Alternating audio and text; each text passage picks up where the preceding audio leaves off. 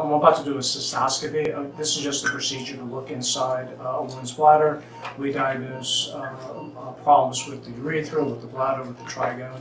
It's just an important part of um, a workup for uh, bladder problems.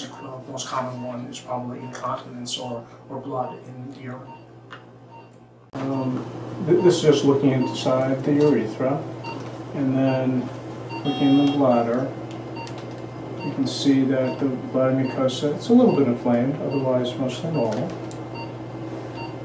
The Bladder is slowly filling up. And then if we turn it over, you can see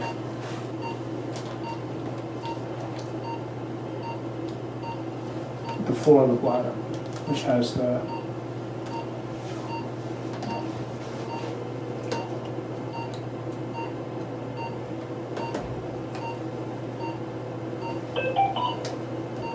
Let's see.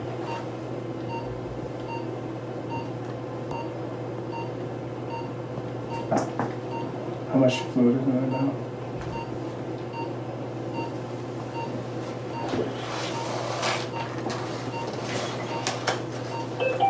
Um, It's really not much at all.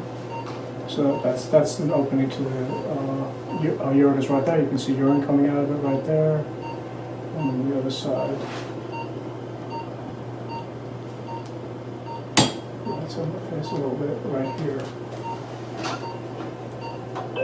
I don't see urine flowing out of it, but we'll watch it from then, so we'll see it. So this is just a cystoscopy. It's just a very simple procedure looking inside someone's bladder.